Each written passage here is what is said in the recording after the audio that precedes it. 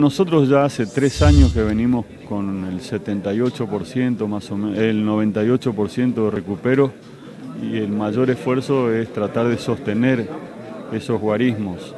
Durante estos primeros cinco años del año, de, este año, los cinco meses, perdón, este, como hemos propuesto cancelar con valores viejos eh, las cuotas, viejos digamos a valores de diciembre del año pasado, hemos tenido un, nivel de recupero que ha superado sustancialmente esa cifra.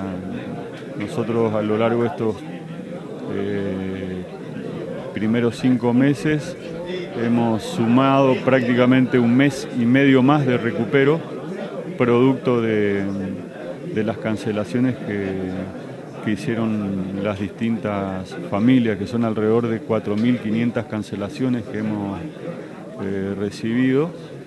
Así que estamos muy contentos con, esta medida que hemos tomado.